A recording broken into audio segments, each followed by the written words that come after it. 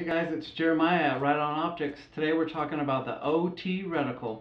This one comes in the second focal plane with MOA adjustments. So, what is MOA, or minute of angle? Well, MOA is a linear measurement, and what it equates to is 1 MOA at 100 yards equals 1 inch. 1 MOA at 200 yards equals 2 inches. So if we took that out to 1,000 yards, 1 MOA would be 10 inches. The reason this is important is many of the Riton optics have quarter minute of angle adjustments. Those adjustments will be one quarter of an inch at 100 yards, one half an inch at 200 yards, and if we took that out to 1,000 yards again, one click or one quarter minute adjustment would equal 2.5 inches at 1,000 yards. Now let's talk second focal plane. What second focal plane means is our reticle inside of our optic is not going to change or appear to change throughout the magnification range.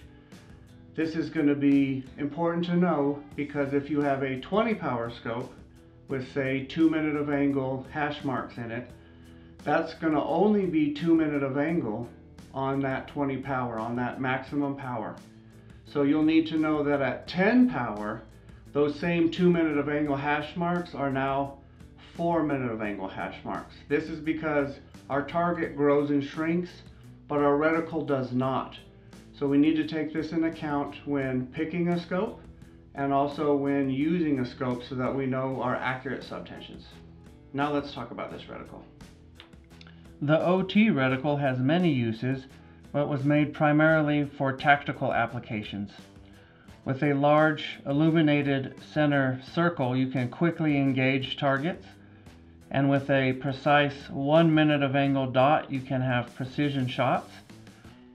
There are five minute of angle between each of the hash marks, that's for windage and for elevation.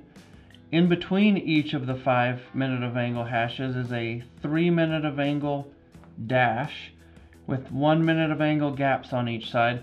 What this does is give you many aiming points and clear up the field of view.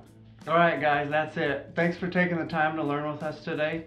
If you have any other questions, we're eager to hear them. Reach out to us at Riton Optics.